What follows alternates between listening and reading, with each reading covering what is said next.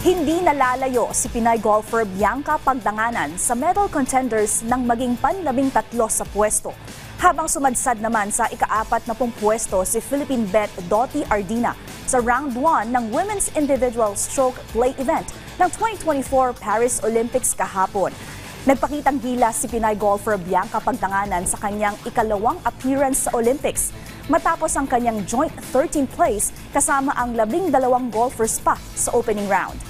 Naging maganda ang panimula ni Pagdanganan matapos ang kanyang tatlong sunod-sunod na par bago sumadsad sa tatlong bugis sa sumunod na apat na holes.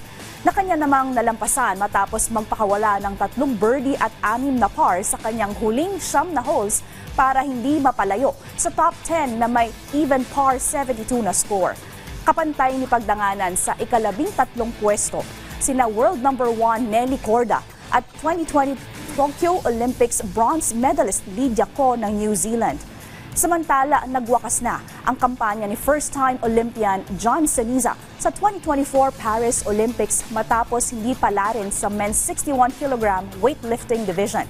Bigong nabuhat ng 26-year-old athlete ang 125 kg sa snatch kasunod ng tatlong failed attempts. Dahilan naman para hindi na siya makaabante sa torneo. Sa kabila nito, buong puso siyang sinuportahan ng mga Pilipinong nasa Paris, kabilang na ang 2020 Tokyo Olympics gold medalist Heidelin Diaz Naranjo.